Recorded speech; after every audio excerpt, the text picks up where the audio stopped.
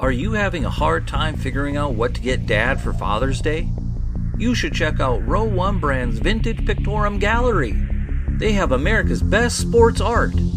With over 7,200 historic sports prints, you're assured to find something unique for dad this Father's Day. Instead of a boring old tie, get him a historic baseball photo taken by Henry High Sandom at the historic Polo Grounds Stadium in New York City during the 1894 Temple Cup. Or, if he's an NFL buff, check out the 1963 vintage NFL poster. These are so good looking that you'll be amazed how they turn out. Shop now at sportshistorynetwork.com slash row one and save 15% off your order. The patent for the internal combustion engine was awarded to Rudolf Diesel on August 9th of 1898. This is five months after the hero of our story was born. An internal combustion engine creates a bunch of explosions at a high rate. Now, I'm going to tell you a similar story about the way that Curly Lambeau created explosions all over the field with the Green Bay Packers. And it all revolved around the forward pass. Welcome to the Football History Dude podcast, where each episode is a journey back in time to learn about the rich history of the NFL. Your host is Arnie Chapman. Football is his passion, and he wants you to come along with him to explore the yesteryear of the gridiron. So hop on board his DeLorean and let's get this baby up to 88 miles per hour. So now, as we step off for DeLorean, the date is April 9th, 1898, and we are at an address in a house of 615 North Irwin Avenue in Green Bay, Wisconsin, which is now a historical site. And the reason for this is because this is the birthplace of Earl Curly Lambeau, the father of the Green Bay Packers. So we're going to refer to him as Curly Lambeau for the remainder of this show. And back in high school, he starred in football, of course, at the Green Bay East High School, just five blocks away from his house. Then he would go on to play at Notre Dame. And the interesting fact that comes out of this was he scored the first touchdown for legendary coach Knute Rockne. Now, he only played fullback for one year because he had an illness that forced him to leave school and go back home back in 1918. But don't you fret, that would not stop him from becoming one of the most legendary and iconic figures in NFL history. But let me give you a little bit of a side note on that house. Now, this historic house is uh, available for parties, meetings, and other informal gatherings, basically whatever you need. Now, I'm telling you, if you're a Packers fan and you're in the Green Bay area, or even if you're not in the Green Bay area, you should think about hosting your fantasy football drafts there. And just to make it easier on you, I'm going to go ahead and include a link into the show notes. And by the way, you can find the show notes over at thefootballhistorydude.com. And also, I'd like to make sure you mash that little subscribe button on your podcast player of choice so you get the hottest, freshest off the press episodes each and every week. But let's get into the Packers. Curly Lambeau, going back to when he was 21 years old. At this time, he was working at the Indian Packing Company for about 250 bucks a month. Now, this Indian Packing Company would end up being bought out by the Acme Packing Company, and this company was a canned meat packaging company. So, I guess now we know where the team Packers came from, and we talked about this in a previous episode, but I didn't really elaborate about the whole, you know, meat can packing kind of deal. But it's a team that has a name that is referenced for something that isn't just like some random animal or some random, I don't know, place in the city or whatever. It's representative of the company that helped back this Green Bay Packers team at the beginning. You see, Curly and George Whitney Calhoun were given $500 by the Indian Packing Company for uniforms and equipment, and they would end up founding the team, the Green Bay Packers, in 1919. So even though, like I said, they were bought out by the Acme Packing Company, that company would decide to continue backing Curly and all the players that they had to keep the team going. Then in 1921, Curly would end up talking to the officials, you know, like the top dogs over there at Acme Packing Company, and he would ask them to apply for membership to the NFL, which at the time was actually only called the American Professional Football Association. So that kind of gives you an idea. This is an old team. It's the third oldest team in the league. And as we found out earlier, that due to, uh, you know, kind of a little bit of shady business having college players in the team, they forfeited the team back to the NFL in 1922. But Curly did not want to sit down. He decided that he would buy the team, you know, with some help of other individuals, for 500 bucks. And he put up $50 of his own quiche and promised that he would follow the rules. So this started the rise of the Green Bay Packers organization under Curly Lambeau, where he would become the featured back, like the fullback running back. It was really more called a fullback back then, for the Green Bay Packers in the early years. And he was their first quote unquote star, where he would also become their quarterback, where it was kind of different. Back then, it was really not a separation of a quarterback, fullback, that kind of thing. It was, there really wasn't too many passes going on. So it was just the fullback would end up lining back and he would just be the guy that would throw the ball. But he would end up throwing the very first touchdown pass in Packers history. He'd also end up kicking their first field goal. Speaking of forward pass, he was a pioneer for the forward pass in the pro football game, and he was one of the most prolific passers in the early years. And it was said that he had brought, I'm using quotes here, Rockne's secret weapon, the pass, to the NFL. And it was also said that the early Green Bay Packers were like their coach, you know, they were impatient and explosive. We talked about Don Hutson in an earlier episode. You know, Don would, would not have been Don without Curly and his goofy, strange, wild, crazy thinking kind of coaching theories that at the time were considered very advanced. Now, he helped Hutson and his records stand for four decades or more. The current NFL, and we discussed this back in the Don Hutson episode, really would not be what it is today. Or at least it wouldn't be the same form because it would have taken a lot longer for the NFL to be able to grow into this aerial attack, fire from the sky, everything just coming all over the place. That kind of thing. Fantasy football would not be the same. But getting back to the field. Now, after Curly, you know, probably his arm was a little macaroni elbow kind of thing, he couldn't really throw it that much anymore. He decided to retire. And we talked about Arnie Herber, who was a future Hall of Famer, would be his quarterback to replace him. Then also he had Cecil Isbell as his other quarterback. They would pass anywhere on the field, anytime. They did not care. Just toss it up there. They were like a quick strike team coming in, blitzkrieg, toss it all over the field, and no one knew what was coming. No one knew where it was at. And speaking of a quick strike team, having a solid passing attack is critical in daily fantasy football. Start your story today by heading to thefootballhistorydude.com slash DraftKings so you can get a free entry and your chance at glory. Again, you can go to thefootballhistorydude.com slash DraftKings to get a free entry and start your path to fantasy glory. But let's get back to Curly. You see, he was also considered a hot headed disciplinarian who would get the most out of his players. And I have a quote that's going to come through the eyes of one of his players, and his name is Ken Kranz, and it goes as such Curly Lambeau's knowledge of the game helped make him great, but he also knew exactly what he wanted. He was as strict as they come. He wanted things done a certain way. He wanted you to be in time for everything, and he didn't want you out carousing in the evenings. End quote. It kind of reminds me of uh, one Billy B, also known as the Hooded One, who I would say the OG was the Curly One. So Belichick probably emulated his game, of course, after the likeness of Lombardi, which who was a precursor? Yeah, that was Curly Lambeau. And just like the Hooded One, he had a knack for finding talent, but he was uh, a little more crazy than the hooded one.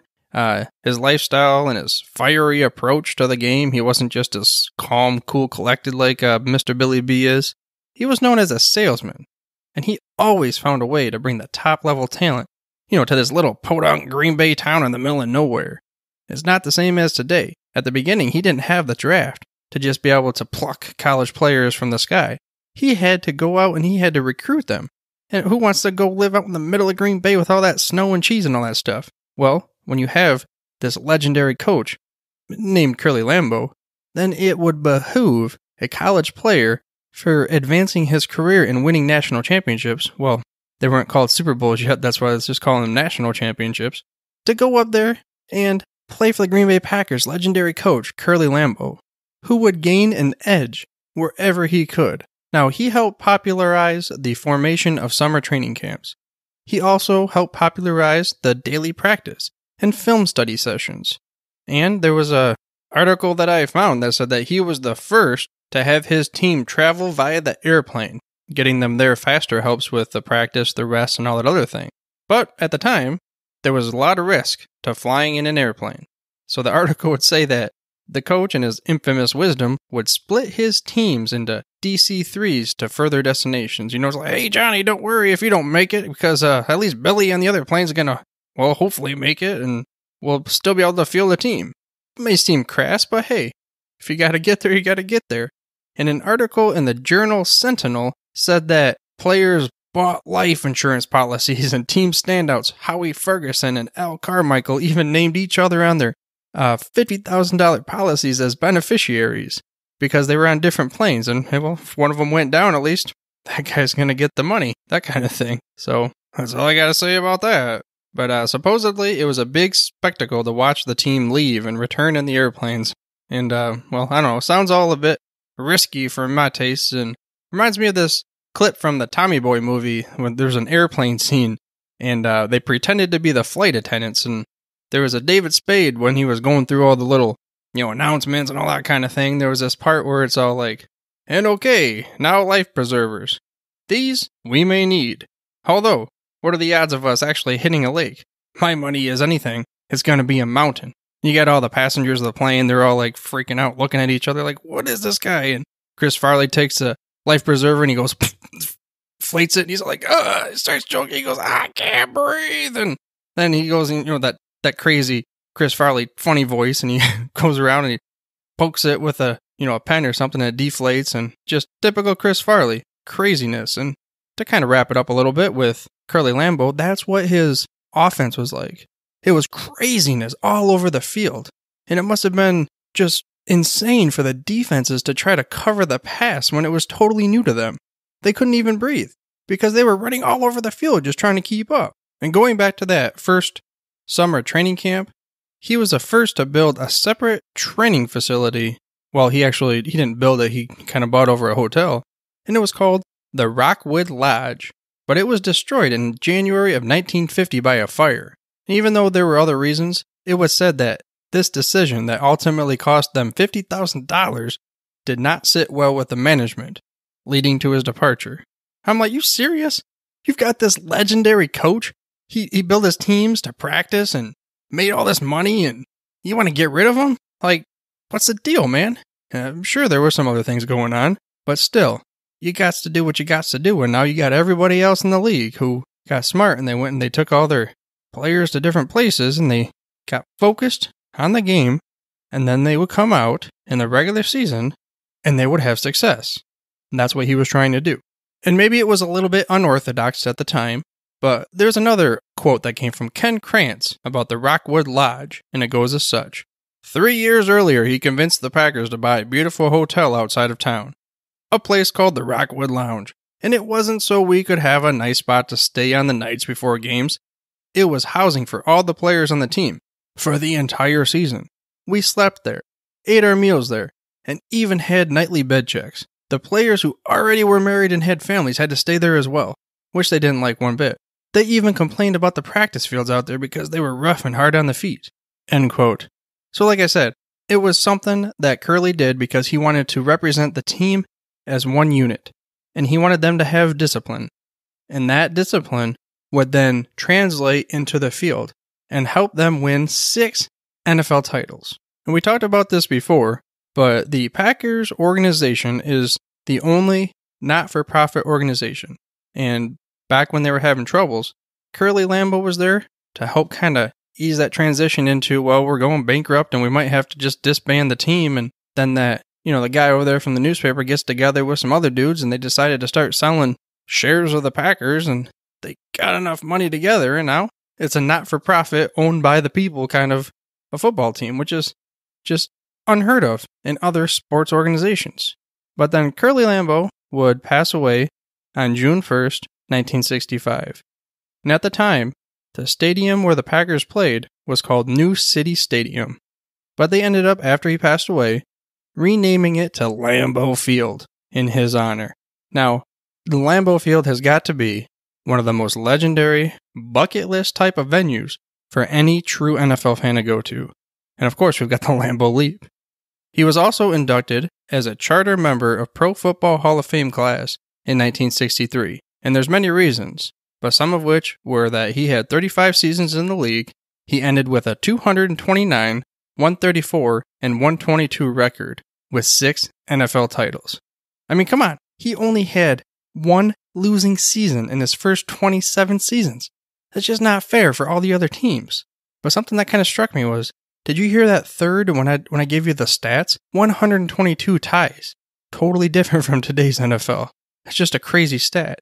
And if you go to Lambeau Field, which was named after him in 1965, you're going to see a statue of Curly Lambeau.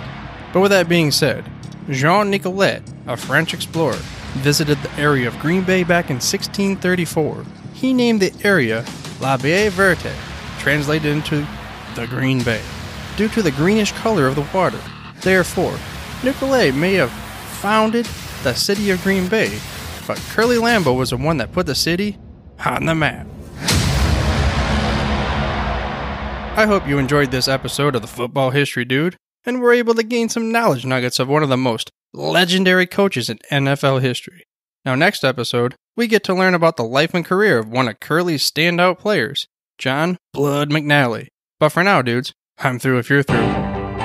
Thank you for listening to this episode of the Football History Dude. To make sure you're the first to get the next episode, please subscribe on your podcast player of choice and head on over to thefootballhistorydude.com for the show notes and more information on the history of the NFL. And remember, dudes, where we're going, we don't need roads. We here at the Sports History Network proudly partner with 26 podcasts, all revolving around the history of sports. But did you know that many of our hosts were sports history authors way before they started their shows? It's true. We've got Joe Ziemba, host of When Football Was Football, Joe Zagorski, host of Pro Football in the 1970s, Mark Morthier, host of Yesterday Sports, Tommy Phillips, host of Lombardi Memories, and Scott Adamson, co host of From the 55 Yard Line. All these authors have many books for you to choose from. To check them out, go to our website at sportshistorynetwork.com slash sports history books. Pick up your copy today. Soundtrack provided by Kevin MacLeod of filmmusic.io.